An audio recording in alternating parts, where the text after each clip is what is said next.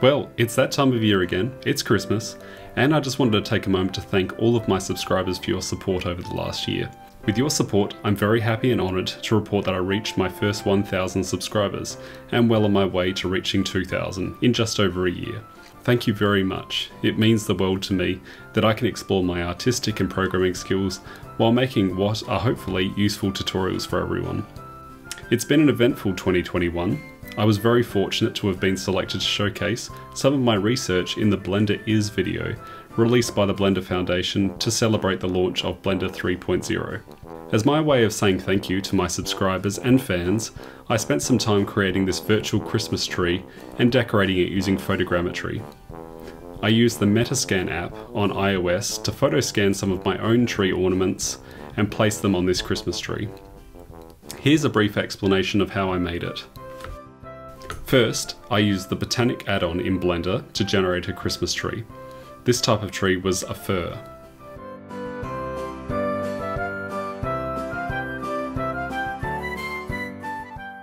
Then I downloaded some ornaments from Sketchfab.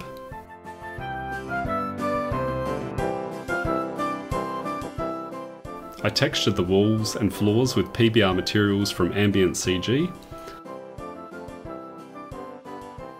I downloaded this very nice fireplace from Sketchfab as well.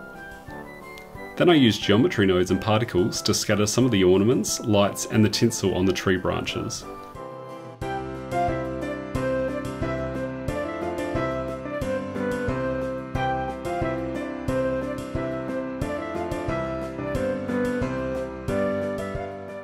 I made some low poly presents to place under the tree and then randomised them on the floor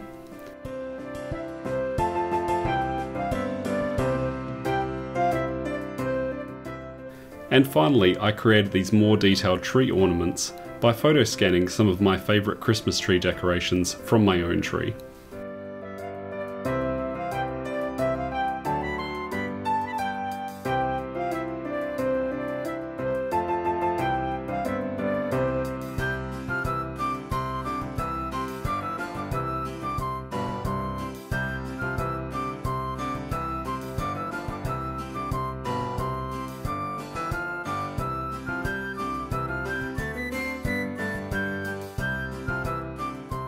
And here is the final result.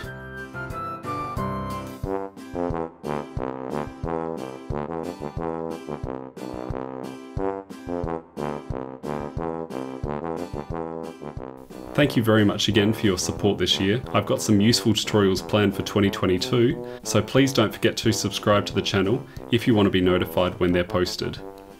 Be sure to follow me and message me on Twitter with suggestions for tutorials or share some of your artwork with me. I'd love to see it. Merry Christmas, and I hope you have a very safe and happy new year. Take care.